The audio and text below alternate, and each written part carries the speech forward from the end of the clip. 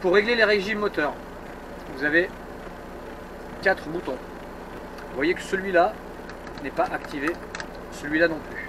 En fait, ces trois boutons-là, pour fonctionner, ont besoin de ce bouton-là. Donner en fait l'autorisation. J'appuie sur ce bouton-là. À partir du moment où il est allumé, je peux ici faire appel à un régime nominal qui est pré-réglé d'usine, qui est reparamétrable si vous allez en concession. Ici, par défaut, il est à 900 tours minute. Ensuite, avec le bouton plus et moins, je vais pouvoir réguler au régime souhaité.